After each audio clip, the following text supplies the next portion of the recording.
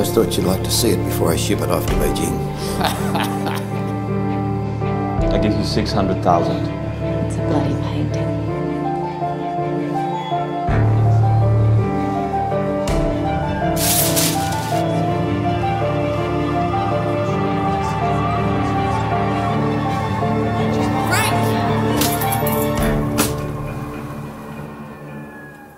Is this what he's been working on? Sorry to disappoint you. So this is your choice. Tell Selina it's over.